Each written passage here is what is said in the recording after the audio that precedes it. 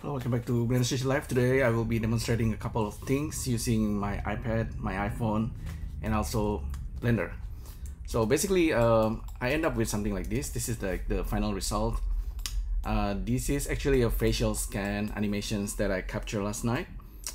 And as a result, if you render this out using Eevee, we have this uh, kind of like mask made of glass with some painting on, on it. Alright, so I'm using an app called Blender AR Track by CG Tinker. This is actually really similar to Face uh, Face Cap app um, that I used in the past. Um, but the difference is that it's actually capturing the, the base mesh of the person's face. Um, with face with a FaceCap app, uh, you actually capture the blend shapes but with this one it does two things. You can do like a space camera tracking and also you can uh, do the facial animation capture. So this is I think this is the face of the developer that's being captured. You can watch the video. So here I, I want to show you okay we have Procreate. This is Procreate from my iPad. And I did a face painting. This is for Brutal Mask, that artwork that I did uh, not long ago. And this one is my iPhone showing my face. I'm using another app called Record 3D because it's, it's actually capturing my real face. Uh, it scans my face. This one capturing the blend shape and the base mesh. And this is the result if I turn off everything, including the including the shader and texture. So this is what it's captured. And this is not my face, this is my, my partner's face. Uh, but you can do a lot of cool things with this, like turning this into like a face glass. I can try actually doing a quick capture now. Um, as a result, we can have like a, yeah, this is now this one is using my face I can do a capture very quickly uh, so this is my iPad. I can let me try. If I minimize this I'm gonna cover the iPad. I'm gonna switch to the other app for Blender AR tracking. And I'm gonna try to record my face and uh, um, I will show you the difference. Actually it's bit yeah see I can see it. So the face is being tracked so I can do like a quick scanning. Okay so this is a quick test recording of my facial animations. And I'll stop it. And I will preview my recording. Okay now we have my face captured so I can now send this to my computer. It's zipping the files. It's gonna take a while. Oops okay. Cool. Oops. All right.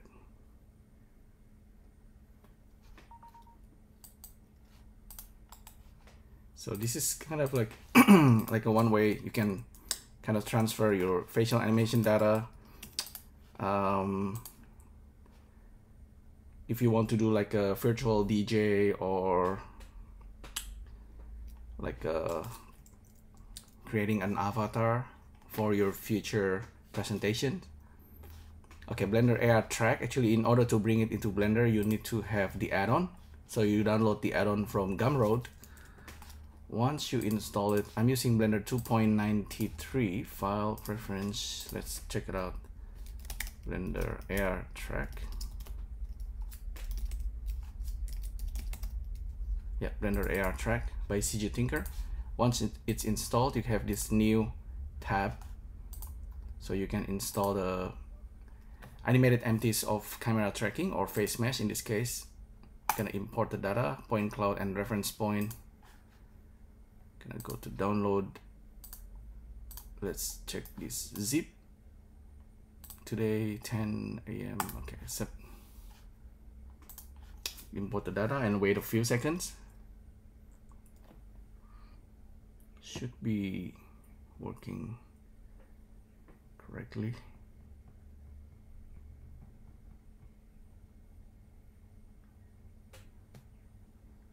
It does take a while with this app.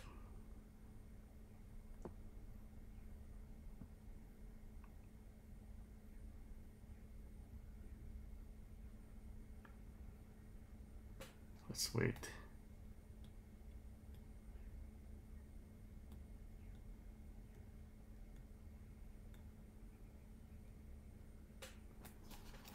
The with the result resulting mesh you can later on you can like instance the like a different mesh on top of it. So let me quickly close everything here. I'm opening another blender this one there's another test that I did earlier using different method to instance random objects. So I'm randomizing the positions and a bunch of things. I can also randomize the scale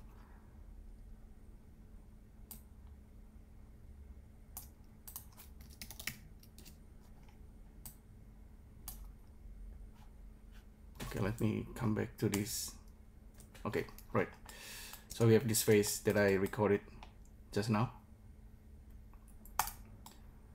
So with this face you can see this is around 5 556 and yeah this face already have UV and the UV is matching the one on the Procreate so if I create a shader very quickly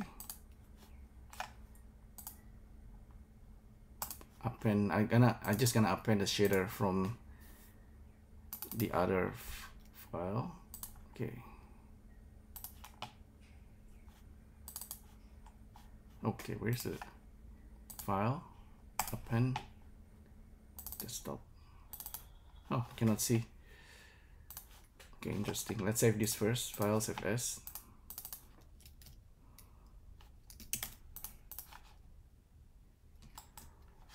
And I will create a shader.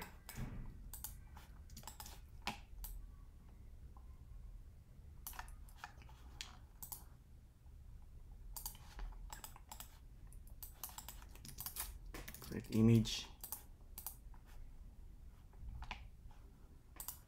gonna grab the, the brutal mask. Okay.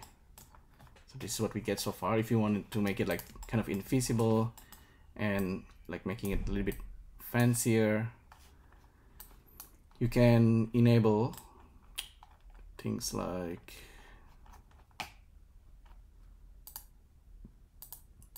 transparency set the blend mode into alpha blend and alpha goes into alpha. Now we have transparency, just like on the Procreate. You can see here with this object, the this one doesn't have shape keys, blend shapes, but these have like a modifier, I believe. Yeah, copy location, copy rotation. So we have the face the head motion is being recorded and you can apply that into your character. The facial blend shapes also it's there. If you want you can get you can unparent this. Clear parent. And you just have the just the face. Without head orientations just the facial animations right with these facial animations. So let, let me quickly save.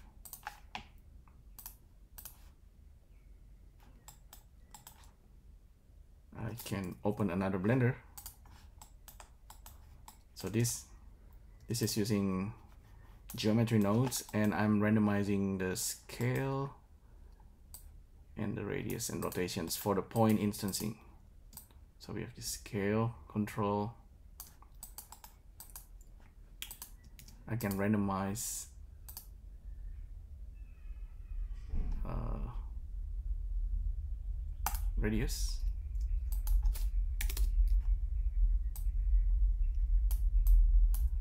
Actually it should be like a scale.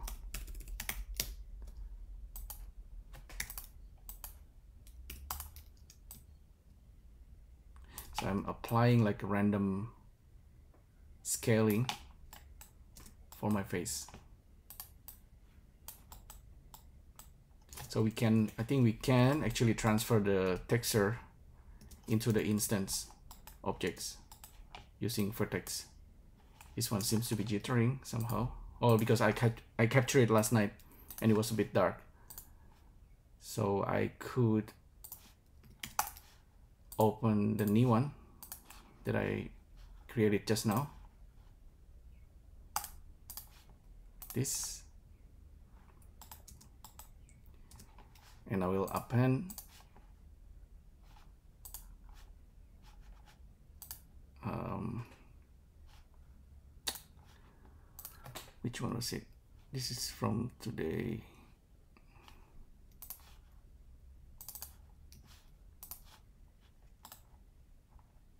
Okay geometry nodes with a with a cube. And I can use geometry nodes simply assigning geometry nodes and the node tree okay this is from today. I will try to transfer the color from the texture but may maybe I'm not gonna do it now but there's attribute transfer. I need to kind of think so you can sample the texture from the geometry and then pass it into this guy and then transfer it into the nearest point or vertex for the point instancing. So slightly tricky there but it's possible. I'm just gonna use ambient occlusion here. As you can see the animation is there. This was captured quite nicely. So what I, what I found with the things like FaceCap or Blender AR tracking it captures your face and it's really good for dialogue it doesn't really capture like the full details unless you do like a, another different ways like scanning your face every 30 frame or 60 frame per seconds.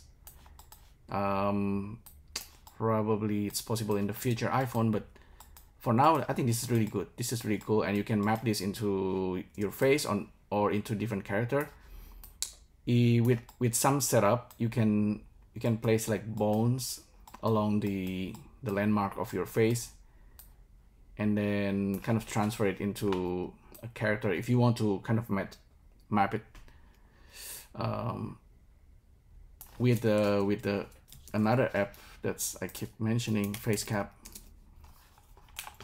by Bannaflak. Yeah, face FaceCap by Ben. This has been around for three or four years since the iPhone 10. This one also does the same thing, but it's gonna use the blend shapes. The difference with this one, of course, it captured the face mesh that I keep mentioning. The base mesh is the one that we are using here. Yeah, this base mesh. I, oh yeah, by the way, I need to scale in this case I'm scaling scaling it for instancing for instance instancing here. So I can use the pause on this maybe to scatter the instance.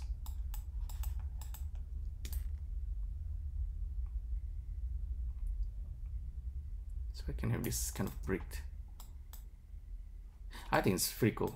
It's a uh, something that's similar to the effects in the in the mummy in the mummy movie mummy movie.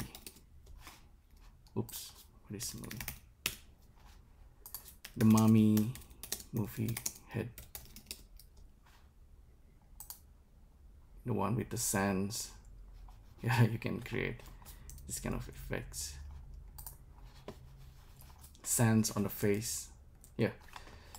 So very powerful tools and it's actually available on iOS and Android, I believe, with this app. It's uh, more accurate on the iPhone but you can use Android as well to capture the facial base mesh. And then you can just use it with uh, another app like for this brutal mask. Uh, yeah this one is from Procreate. You can actually move back and forth between Blender and Procreate. In Blender you can actually paint it in 3D for real. Like with Procreate you're kind of painting in 2D but if you're in Blender you can paint uh, in 3D let's see. Is it painting? No wait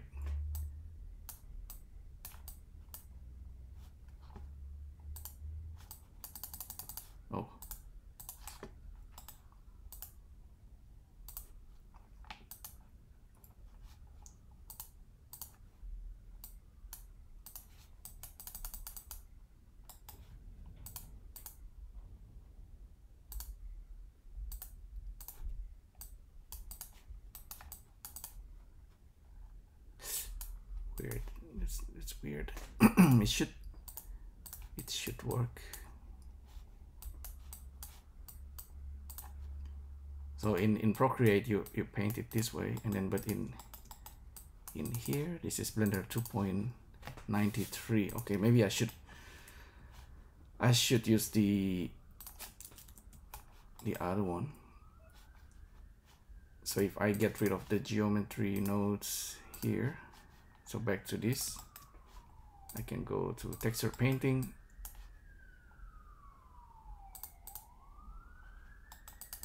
And just paint on it. That's weird. Um,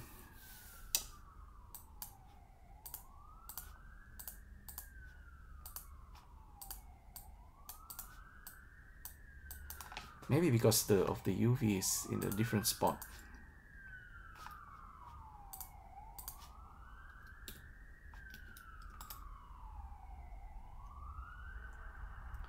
super noisy outside. Just gonna move it up. Yeah, I think we need the UV somehow.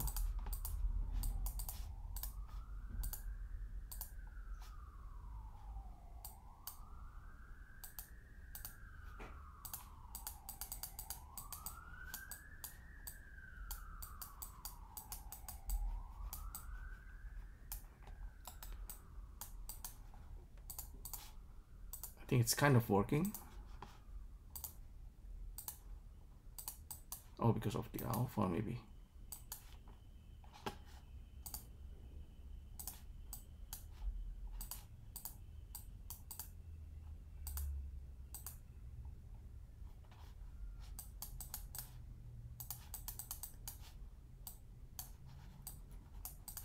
Oh well, I think I, I I forgot to turn on something, but anyway so that's the whole setup.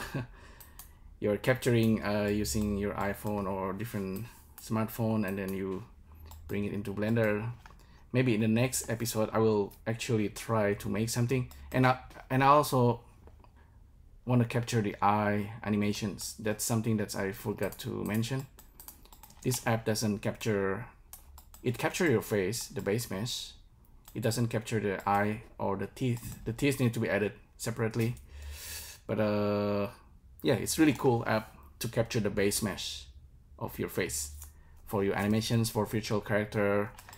Uh, let's see how it goes uh, in the future. Um, maybe we can create like a, some kind of performance capturing the face and also like full body animations. Right, so hopefully you enjoyed this one. Thanks again for tuning in and I'll see you next time. Thank you. Bye.